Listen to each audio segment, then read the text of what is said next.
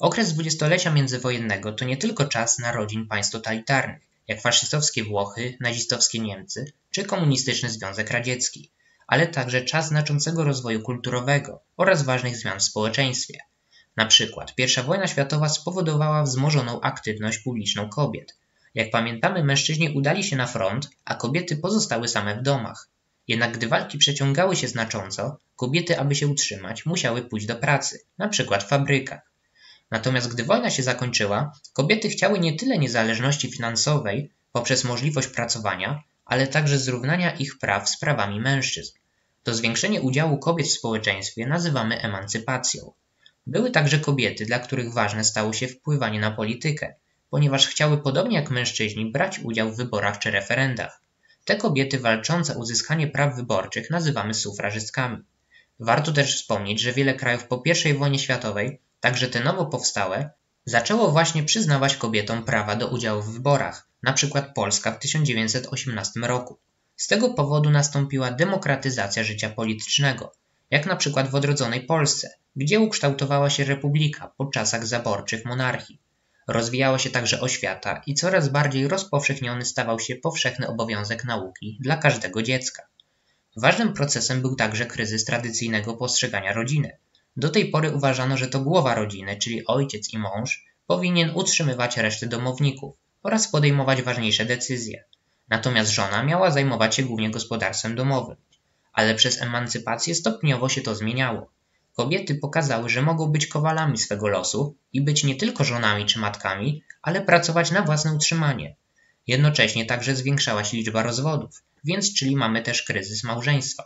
W dwudziestoleciu międzywojennym wielką rolę odegrały środki masowego przekazu, czyli mass media. Jednym z nich była przecież prasa. Dzięki rozwojowi szkolnictwa więcej ludzi potrafiło czytać, a przez to gazet sprzedawało się więcej. Popularność gazet wynikała także z postępu w technice drukarskiej. Większa liczba gazet i większy popyt na nie spowodowało, że ich ceny spadły. Oprócz prasy do roli mass mediów aspirowały także radio oraz nowo powstała telewizja. Media okazały się ważne z różnych powodów.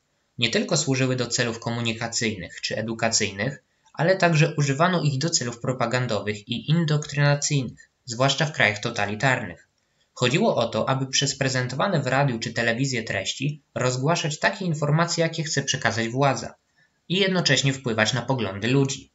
Dynamicznie rozwijało się kino, którego prekursorami, jak pamiętamy, byli bracia Limiere, którzy sporządzili w pierwszy w historii film, jakim było wyjście robotników z fabryki w Lyonie. Początkowo nagrywano film bez dźwięku, było to tak zwane kino nieme, ale już w latach dwudziestych wprowadzono dźwięk, a w latach trzydziestych pojawił się już kolor. A skoro mamy filmy, to także mamy pierwsze gwiazdy filmowe, do których zaliczamy oczywiście Charlie'ego Chaplina czy polską aktorkę Pole Negri.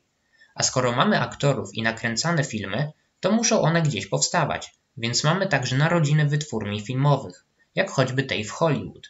A jakie były te filmy? Powstawały nie tylko komedie czy melodramaty, ale także pierwsze horrory czy westerny. W 1902 roku pojawił się jeden z pierwszych filmów przygodowych i science fiction, a więc Podróż na Księżyc. Natomiast do świata bajek wprowadzał młodych widzów Walt Disney. Nie zapominajmy także o postępie technicznym. Możemy powiedzieć, że dzięki I wojnie światowej rozwinęły się nie tyle militaria, ogólnie środki transportu, jak samochody, statki czy samoloty, które doskonalono pod względem bezpieczeństwa.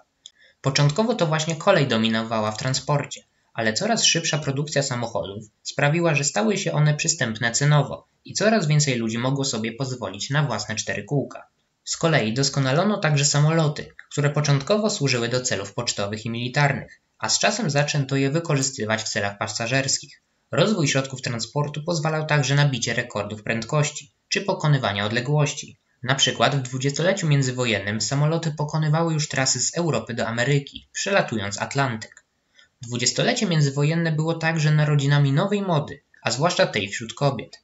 Na ich wygląd niewątpliwie wpływ miała emancypacja. Cechą charakterystyczną tamtych czasów jest fryzura na chłopczyce.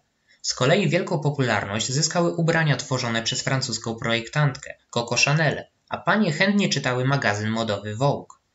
Oprócz zmian społecznych i technicznych, dwudziestolecie międzywojenne zajmuje ważne miejsce w światowej historii, także pod względem kulturalnym. Wtedy to popularnością cieszyły się nowe trendy w sztuce, takie jak funkcjonalizm, dadaizm, surrealizm czy futuryzm. Na przykład dadaizm odrzucał dotychczasowe rozumienie sztuki, a za rzeczy piękne uznawano zwykłe przedmioty, jak choćby pisuary. Z kolei surrealizm cechowały choćby zniekształcenia czy chaos. Surrealiści starali się stworzyć świat jak z marzeń sennych. Ale rozwój komunizmu, faszyzmu i nazizmu wpłynął także na poglądy ludności. Uważano, że współczesny świat całkowicie stracił sens, a człowiek wyzbył się w swoich wartości. Panowało zrezygnowanie, ale także obawa przed kolejną wojną, kolejną katastrofą, która wielkimi krokami miała się zbliżać. Dlatego taką postawę nazywamy katastrofizmem. Inaczej rozwijała się kultura w krajach totalitarnych, bo jak pamiętamy, tam władza miała wpływ na wszystkie dziedziny życia. Ponadto starano się ją wykorzystać dla celów politycznych, choćby przez plakaty propagandowe. Kraje totalitarne wyróżniał monumentalizm w budownictwie, a więc wznoszenie gigantycznych budowli, posągów, które miały podkreślać wielkość wodzów sprawujących władzę. Natomiast w Związku Sowieckim dominował socrealizm, czyli także wznoszono monumentalne budowle, ale w rzeźbach i plakatach przedstawiano klasy robotników i chłopów.